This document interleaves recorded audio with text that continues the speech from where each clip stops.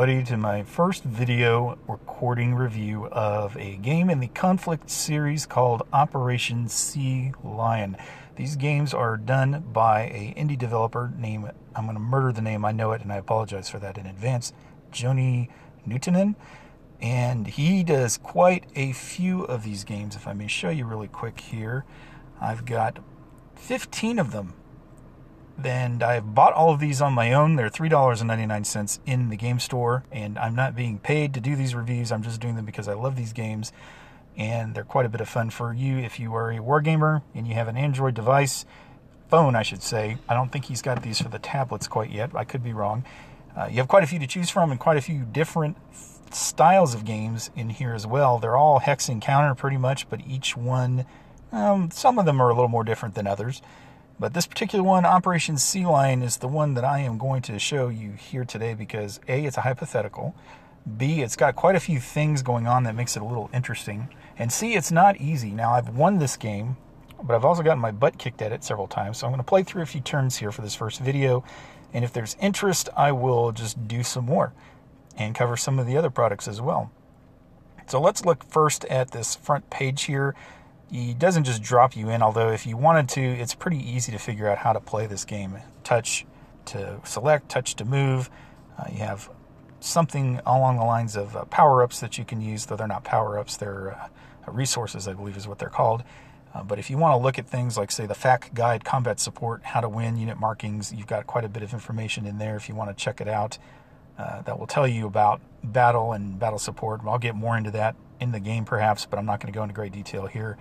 Um, got a Facebook page and uh, change logs to this particular title. And as I said, this guy is pretty prolific. He does all of this on his own. He's very responsive as well. If you send him a message, he will respond pretty quickly, I believe. And uh, the other good thing I should say about these series of games is if you want to try them out on the Play Store, they are there are free versions of each of these conflict series games. So there's a free version of the Operation Sea Lion if you would like to go on and download it. The only catch is it is limited to 15 turns. So if you're like me, I downloaded the free version of this and I played it to 15 turns and I'm like, this isn't enough. I need more. Especially considering the first several turns, you're probably doing something a little bit, uh, well, you got several turns before you can actually get your troops ashore. So that's kind of a struggle, but I'll, I'll talk about that here in a little bit. So let's just go ahead and start it. And here we go. Now you start with a view of the channel, and as you can see in the mini map in the upper right corner there, there's a little box near the bottom. We're very close to Normandy here, and it'll pop up something as soon as you move the map. And I'm not going to go into reading this word for word. Uh, you can always pause this and look at it if you want, but this basically is telling you that this is a hypothetical scenario, and this kind of goes into it as well.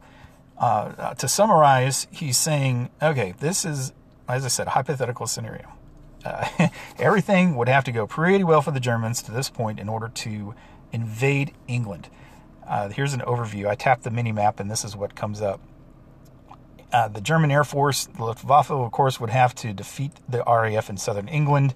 There's also assumptions made that the major elements of the Royal Navy were defeated or, or held off, basically, uh, by the the uh, German Navy and Air Force, I would assume. And the only thing, though, that's actually in play are destroyers. And as you can see here, if I tap to select one, and anytime you tap a unit in this particular game and select it, it'll uh, give you a little bit of background on it. Uh, destroyers are basically your screening force. The British will have destroyers as well, and they will have a lot of them. So that's always fun. Uh, the little S's are supply ships. And this is a major component of this particular game because when your German units cross, and you're controlling Germany, by the way, I should have said that out in the front. Sorry about that. When you cross to England, you are going to not be able to capture supply sources and use them as your own. Supply is very much controlled by you, and there's no way around it. But it's pretty simple. Uh, the only issue is it's it's going to determine what exactly well, it's going to determine how many units you can have in England. The more units you have, the more supply they're going to suck up. And there will be moments where you're going to be having units out of supply. So that's going to be a pain in the butt. Uh, so these supply units here can land in clear hexes or in cities if you've captured them. Now, if you look here, say in the Dover area, right across from the Pas de Calais, I believe is how you pronounce it. Uh, supply ships could invade in these blank hexes or the hexes with the, the, the, British flags. I'm not sure what those are. I think they have something to do probably with the AI programming. Uh, but regardless, I can tell you really quick about the terrain. The hex here with the lines is swamp hex. The hex with the trees is, of course, forest. The darker hexes are, of course, cities. The AF is an airfield. Germany wants to capture as many of those as it can because it gets a Stuka strike resource for every one that it captures. The blue lines are rivers, and the TMP, I believe, is for extra movement points. I could be wrong about that, but I believe that's what it is. The red crosses are hospitals, and you can build more of them, but you can only build them in terrain, or excuse me, in well, that's true, in clear terrain or in provinces that you control. And if you look here in the middle around uh, Tunbridge, you'll see dotted line. That's pretty much the, the the province. So if you control that whole province, you can build a hospital in there somewhere. And believe me, you're going to want to create a lot of them because hospitals, you rest a unit on top of it, it'll heal it up. Now let's look at your units really quick here. Uh, besides the destroyers and the supply ships, you've got Gebirgsjägers, or I believe that's the way to pronounce it, or as best as an American can. They're basically mountain troops, as you'll see. Uh, the maximum strength of any German infantry unit, or any British infantry unit for that matter, is six in this scenario, I believe.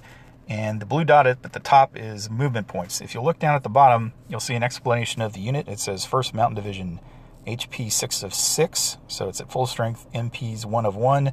It is possible to go into negative movement points, like when you cross a river, for example, or you get bombarded or strafed by enemy units, uh, or just, I want to say fatigue also affects that, and that's what you're going to look at here further on the line.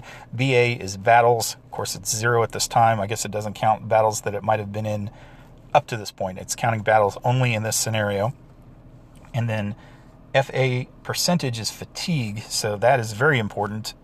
I've got it currently set to 80%, and I believe that's the default. So when a unit gets at 80% or higher, it will display a little icon on itself that will say uh, FA and it's red, so you can see it pretty easily. And it's a good idea to rest those units because if they get into combat, they're probably going to get their butts kicked pretty quick. Uh, you also have regular infantry divisions. Here we have the 17th Infantry Division. Uh, you got to be very careful. One thing I should say about this is if you tap a unit, if you have a unit next to it, like say the Gebirgsjäger, or I should say Mountain Division, uh, if, if I wanted to select that unit instead, you shouldn't just tap on it because if I did that, just tap on the on the mountain unit, you see he moves. So that can really screw you up when you're trying to move troops around. So if you select a unit, just tap it again to deselect it if you want to move on to something else. Okay, so uh, here is a Flieger, perhaps, no, Luftlandedivision. division. So there's some airborne troops, but you can't drop paratroopers in this game as far as I can tell. That kind of stinks. So I'll just go ahead and get into this really quick. Oh, there are some panzers, I should say. And where are they? Let's look around here. Uh, oh, I bet there's one in Cherbourg. Yep, there's one right there. So I'll go ahead and move him up here, not that it matters. So I'm going to move my supply ships by selecting them and then you see the lighter area shows you where you can move, so you just kind of tap the next hex that you want it to go to. As for the destroyers, I'm going to keep them pretty close together. One of the key concepts of battle in this game is support, and if you have just a one-on-one attack, one of your units against one of theirs, it's pretty much a good chance that you're going to lose, especially if you're evenly matched. Um, there's no guarantees that you're going to ever win a combat. Now, if you have several other units adjacent to that enemy unit that you're attacking, that ups your chance of winning significantly. Uh, I'm going to move these supply ships a little bit closer as well. My plan really, this is a good place to invade, and I think the Germans probably had plans to do that, and it was pretty obvious they were going to do it because it's such a short transit time. I'm going to go ahead and send some troops to sea. Now, you have a very limited number of uh, something called naval troop transport points, I believe it was. I can't remember for sure.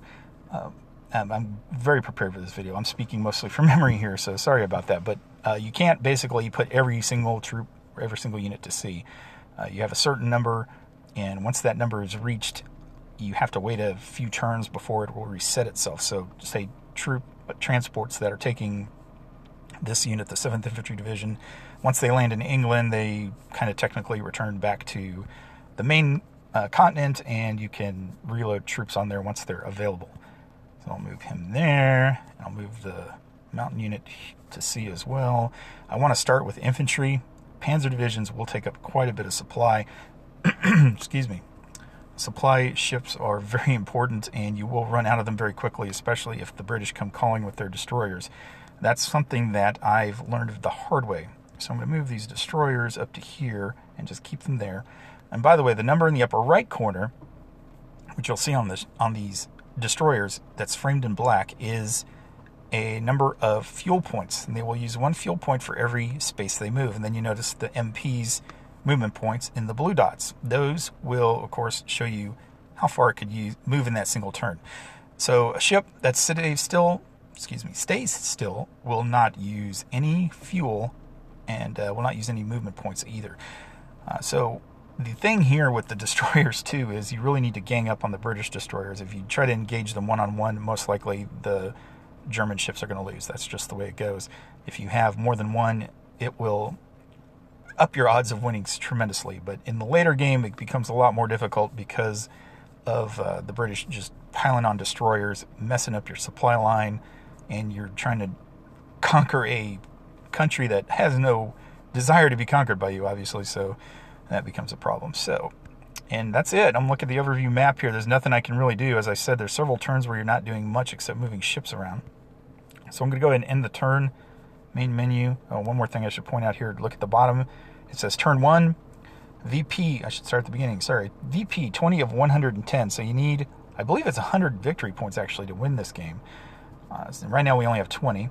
Turn one, September 19th, 1940, hour 06, which I believe is 0600. Uh, TMPs are the tactical movement points. That's what they are.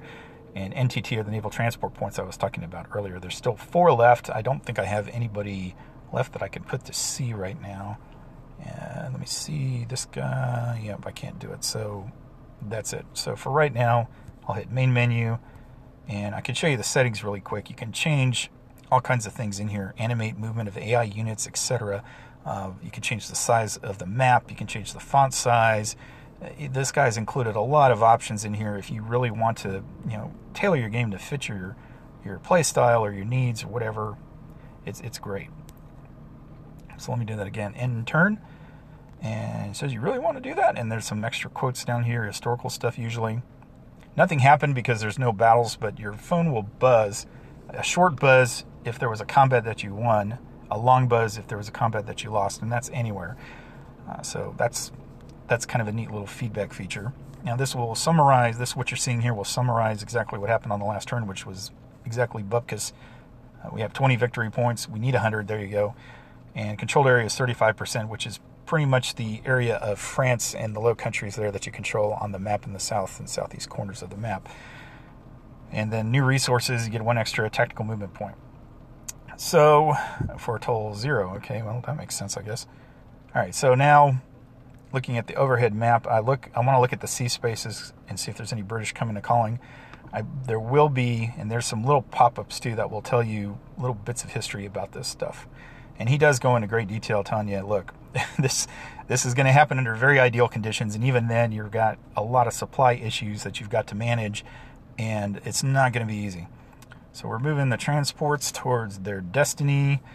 I move the supply ships closer as well. I'm not worried about British ships here. I've played this game a few times, so I know what's going on. Uh, I'll move a couple more into ports. I'll go ahead and move him to sea. I've got, whoops, I've got three naval transport uh, whoops. There we go.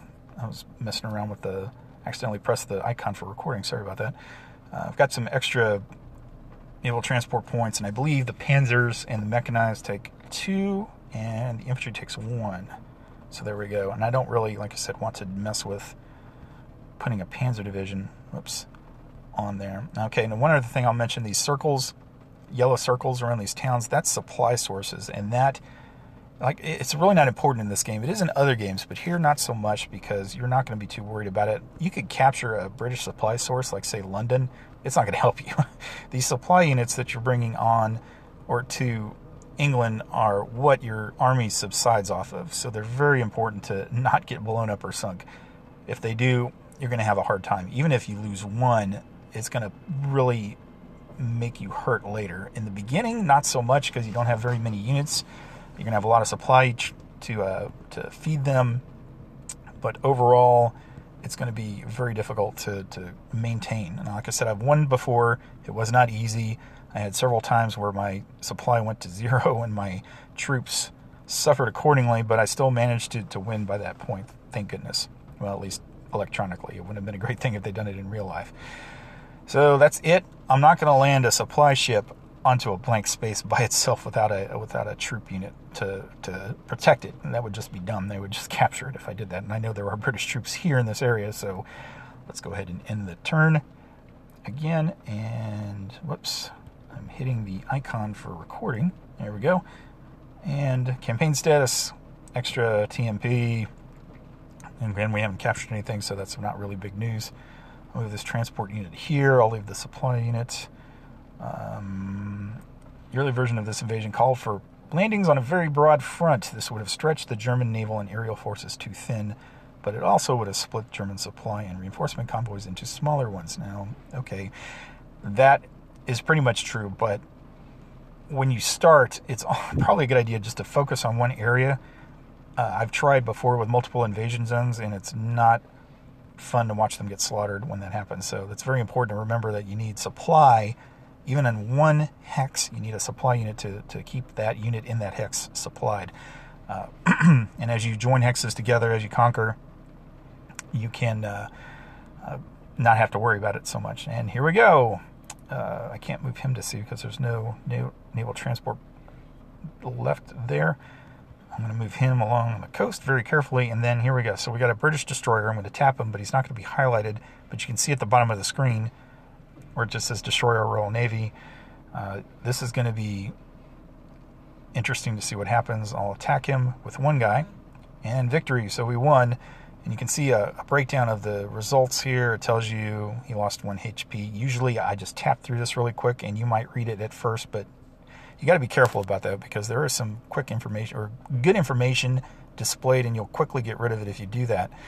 Uh, the other thing is when you win, the victory dialog will pop up and if you tap through it accidentally thinking you're going to have another turn and it goes bye-bye and you're kind of hosed there. So, and see, here we go. Battle lost. So Hey, that didn't go too well. I'm going to use this other unit again.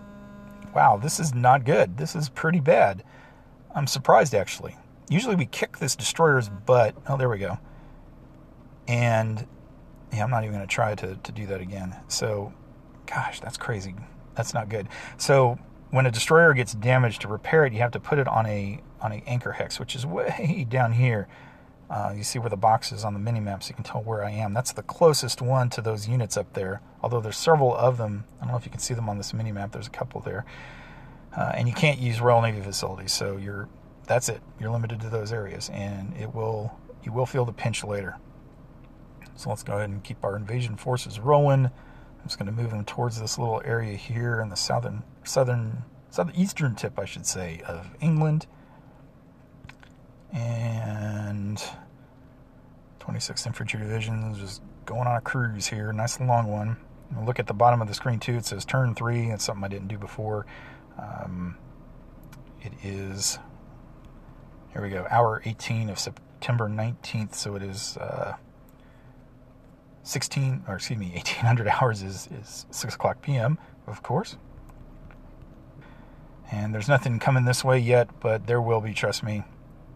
And I'm going to go ahead and move these guys over a little bit because there will be supply ships coming from down here. And that's bad because the British will have a lot of destroyers showing up at about that point. Uh, so it's very interesting in, in, in, how you maneuver these things. Um, they have a certain sight range, and I'm not quite sure what that is, but they you get them too close, they will see it, and they'll go right after it. So that's it for right now. We've got nothing going on elsewhere. I'm going to hit the campaign status at the bottom here, and you can see it'll just go over what it told you at the beginning of the turn if you forget something or you accidentally click through it. So let's hit in turn. Yes, and we are okay. So we got reinforcements. The 24th Infantry Division has appeared in Cherbourg. We got another tactical movement point. Um, wonderful. So me just that just was talking about Germans carrying out various tests. So there's, like I said, a little bit of historical info presented in here. You can shut it off if it annoys you. It never bothered me. So I'm to hope that I can get this guy, good. All right, so since there's only one unit next to him now, I'm to move this other guy up. And you see, I want to make sure that there's two against him every time I attack him. And now we're beating him. So he's down to three. He's not going to be a threat anytime soon. Uh, I need to get some units up here, though. And quickly. Okay, so we can land our first unit here. What I'm going to do is land this guy first. The 1st Mountain Division, the first German unit on British soil. Oh, okay. So it buzzed at me. So there were, I don't know if you heard that or not, or there's a British unit that was in that hex, and that happens sometimes, but it was a home guard unit. So they're not extremely strong, but they can cause trouble for a weakened German unit. And I landed the uh, supply ship, as you can see, and I've landed the uh, other unit, the 7th Infantry Division, and he's right next to Coastal Home Guard 6. And I'll move the supply units up here, and I'll move some more troops up here in anticipation of being able to land if these guys get to move anytime soon. Let me click that and see. I've got this tran transport to move. And that little Android recording icon is going to drive me nuts. I don't know if you can see that or not. Okay, move the transports closer. As I said, I'm moving them all to this little corner of the map here to concentrate my supply sources. It's a little bit of a longer haul for these supply units, but early game, that's okay because the British are not going to be all over your business like they will be later. See, there we go. So there's a British unit. I'm going to go ahead and approach him. Hopefully he's the only one. I'm surprised it didn't identify him. Yeah, there we go. Okay, so I'm going to go ahead and attack him. Hopefully we'll have better luck in this one. Good. Got him. Okay, so I'll move this guy up and attack again. And victory again. And since we're in the same hex, I'll attack one more time. So that's more like what should have happened back there east. So I've got him good.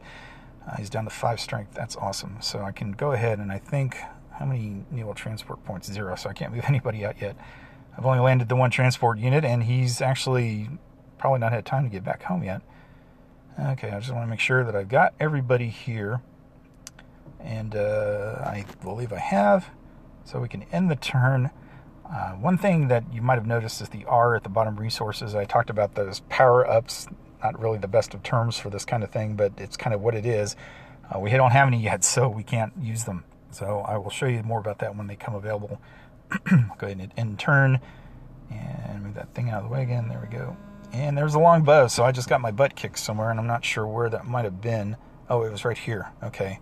So as you see, the uh, 1st Mountain Division suffered one point loss, and it was probably from an attack from this guy here to his north, oops, northwest, the uh, 1st London Division.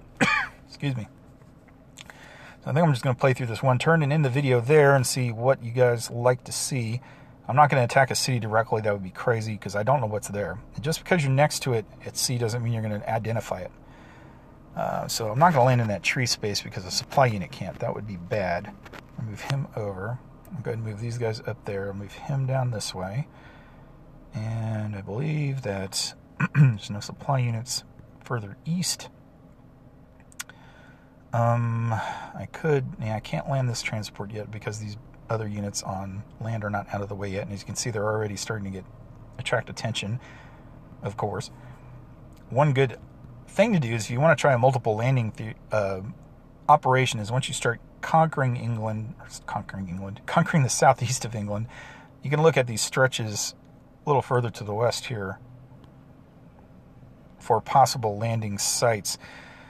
Uh, let's see what else we got. We got these supply units. Another thing is the RAF, of course, had to be defeated for this to happen. At least that's what the game assumes. It, it they will still come out to play. Now, they only affect your unit's movement points, I believe. I don't know if they affect their strength points. I could be wrong about that, but okay, let's try to finish off this destroyer here. Yeah, got him. And got him again, but he moved way the heck down there. I think he's weak enough that I can risk a one destroyer attack. He moved. There we go. So I got him down to one point. He's probably going to be a goner. Let me try to get this guy now. And he runs away and he withdrew. And there's another one, so this isn't going to be good. This is going to guarantee to be an 8 strength destroyer, but I can't resist taking a poke at him. At least this guy will probably be attracted to these destroyers instead of my transports. And of course, I don't have any movement points on there because I already moved them. All right, well, that's what we're looking at right now. The invasion has just started. It's not really started off well because, like I said, usually these guys, these two destroyers, manage to hit this 8 strength and destroy them by this point. I didn't plan on losing a strength point from each of them. That's really going to hurt later. And we've just landed the first two units on British home soil. Uh, believe me, we got a long way to go. There's a lot of territory to fight over and conquer. And uh, so let me know if you like this series, if you want me to keep recording these videos, or uh, if you like this, we can look. I can look into doing other videos as well. So until next time, my screen name is Banzai Cat. I generally do a lot of work with the Grogheads website, but uh, this is kind of a separate venture. I don't know. It's not really something I'm looking to do independently, but I'm kind of wanting to associate it with them. I don't know. I don't own their site. I don't own their name, so I'm kind of leery to say that, but uh, I'm sure they probably wouldn't mind to get the publicity. So anyway, see you next time.